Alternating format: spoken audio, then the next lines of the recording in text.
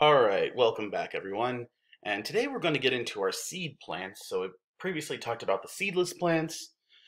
Now we'll talk about the first of our seed plants, the gymnosperms. But before I do that, before we get into the gymnosperms, let's talk about how seed plants evolve. In seed plants, the evolutionary trend leads to the dominant sporophyte generation. If you remember, that means um, the diploid plant, the sporophyte in which the larger and the more ecologically significant generation is the diploid plant. This leads to the redu reduction in size of the gametophyte. When we talked about the club mosses and the ferns, those are the seedless vascular plants. They're mostly homosporous, which means they produce only one type of spore. In contrast, all of the seed plants, or the spermatophytes, are heterosporous, meaning that they form two types of spores, megaspores, which are the female, and microspores, which are the male. Megaspores develop into the female gametophytes that produce eggs, and the microspores mature into the male gametophytes that generate sperm. Adapting to drought, like we had said in, in all of our plants, right, when you're moving on to land, adapting to drought is going to be an important obstacle to colonizing land, especially if you want to move away from uh, bodies of water. Seeds and pollen are going to distinguish the seedless vascular plants from the seeded vascular plants. And these seed plants are going to arise 350 million years ago.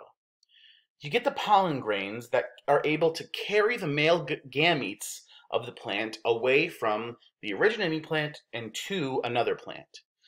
The small haploid cells are encased in a protective coat that prevents desiccation, which is drying out, and mechanical damage. Pollen can travel far from the sporophyte that bore it, and that's important because you don't want to do any inbreeding. We'll talk about that in a second. Seeds offers the embryo protection, nourishment, and a mechanism to maintain dormancy for tens or even thousands of years. It allows it to survive in a harsh environment and ensures germination when growth conditions become optimal again. You could have a packet of seeds sitting on your desk for your entire lifetime and then finally decide one day, okay, fine, I'll plant it today and it should grow no problem given the, the correct growth conditions. Seeds also allow plants to disperse the next generation through both space, getting away from the original plant, and time. Like I said, you could plant whenever you want. With these evolutionary advantages, seed plants become the most successful and, of course, the most familiar group of plants to us.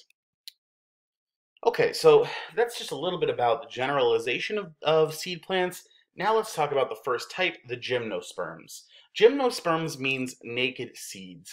Sperms, of course, means seed, and gymno means naked. And you can remember this because the Greeks, the early Greeks, um, when they practiced their sports, they did so in a gymnasium, and they did that naked. So uh, they played sports naked in the gymnasium. Gymnosperms means naked seeds.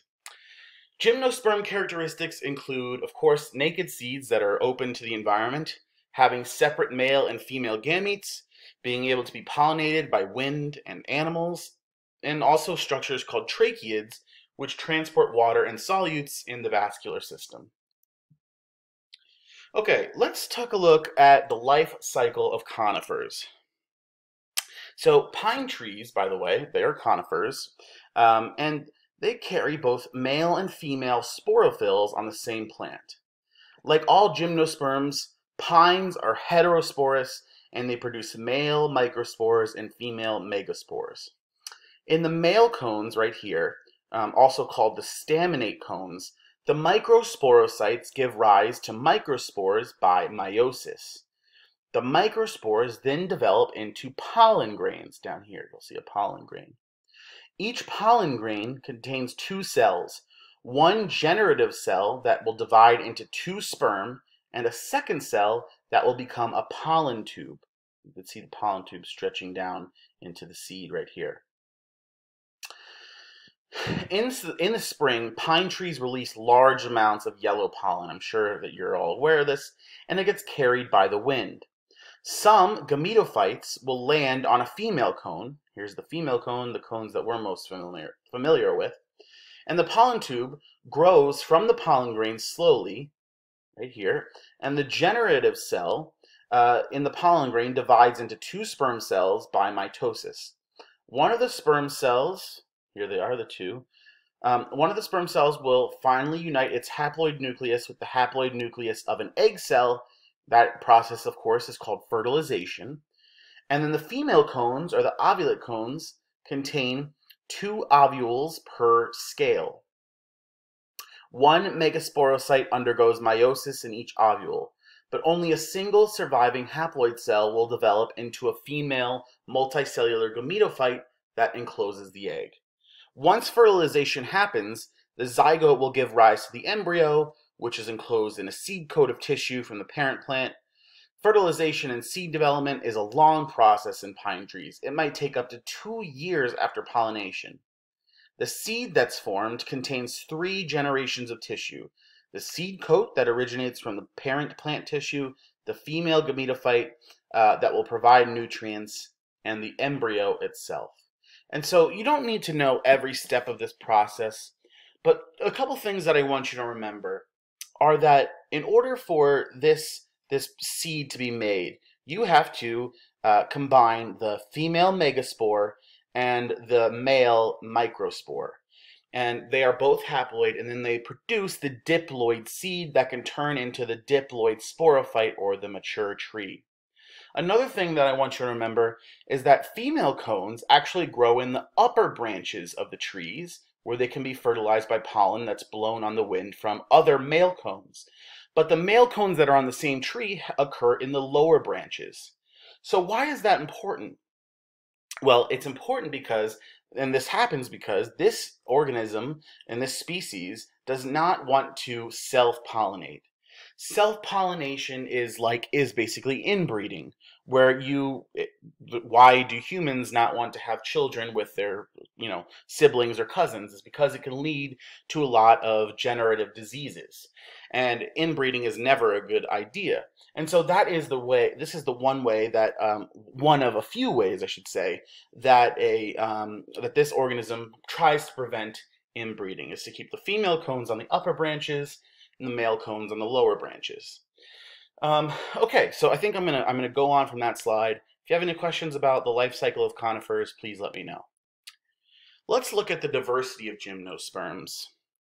There's four major divisions, and they comprise about a thousand described species, and we'll just go through them pretty quickly and look at them and, and look at some of their features. There's the Coniferophyta, the Cycadophyta, the Ginkgophyta, and the Gnetophyta. So let's take a look. Okay, Coniferophyta are of course the conifers. They're the dominant phylum of gymnosperms, the most variety of species. You're probably all very familiar with them. They have scale or needle-like leaves that limit water loss. Snow slides off the branches and it limits the weight the branches have to hold. They have adaptations to cold and dry weather, which explains the predominance of conifers at high altitudes and in cold climates. These are your pines, spruces, firs, cedars, sequoias, and yews. Some are actually even deciduous, even though you would think most of them as being uh, as being evergreens. Some, which are the tamaracks, are actually deciduous and they lose their leaves in the winter. Interestingly enough, the wood has no vessel elements, so it's referred to as softwood, which is good for paper. Here are the conifers. Here's a sequoia, one of the largest trees ever. Uh, look, that's a a child here, but uh, here maybe that's what an adult looks like standing next to them. These are the biggest trees. Um, obviously, uh, very very impressive, and they are in danger. Uh, but you only find them in one small place, uh, basically out um, on the west coast. Here is a blue um, spruce tree this, uh, I believe, is um, a yew, and here is tamarack, uh, the deciduous uh, conifer. So pretty interesting trees. The next are the cycads. The cycads thrive in mild climates, and they often get mistaken for palms, and you'll see why. They have large cones, and they strangely get pollinated by beetles instead of the wind, like the rest of the of, of what we're talking about. They actually dominated during the time of the dinosaur, but they are endangered now. here's what they look like. You could you could see why they might get uh, sort of confused for palms. They sort of look like they have palmate leaves, but these are actually uh, gymnosperms and they have a cone. Okay, they have conifer. They are conifers and they have cones. So really interesting. Um, okay, then the next is the ginkgophyte. Um, there is just a single surviving species, one of my favorite trees.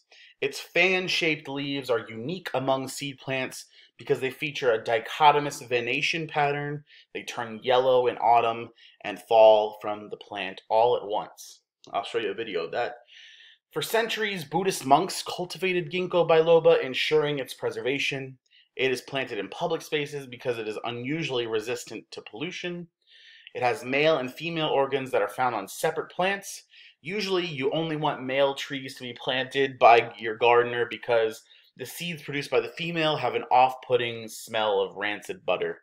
Um, and here is a, a, video of one of my friends uh, from my undergrad days. Um, we had a single ginkgo tree on our campus, and he saw that the, the leaves were all about to fall off. So he goes over and gives them their final push. If you want to see this happen, you pretty much got to be there on that day because within a, a period of 24 hours, all the leaves fall off. So unfortunately, I couldn't get that video to play, but I'll be sure to get you a link to the video uh, so you can check it out if you want. It's kind of interesting seeing all the leaves fall off at one time. Let's keep going. The next are the gnetophytes, the closest relatives to the angiosperms, which we'll talk about in the next lecture. They have broad leaves like angiosperms, um, but there's three dissimilar genera that all fall into the gnetophyta. The gnetum, the welwitschia, and the ephedra. Gnetum is a species that are mostly vines, and you find them in the tropical and subtropical zones. Kind of interesting having these red berries on them. Here's Welwitschia. This is a really interesting plant that might live for well over 2,000 years. Uh, you can find them in desert areas. And here's Ephedra. The genus Ephedra is represented in North America in the dry areas of the southwestern United States and Mexico. They have small, scale-like leaves that are the source of the compound ephedrine, which is used in medicine as a potent decongestant. But because ephedrine is so similar to amphetamines, both in chemical structure and the neurological effects, its use is restricted to prescription drugs. Like angiosperms, but unlike other gymnosperms, all gnetophytes possess vessel elements in their xylem. Here is ephedra.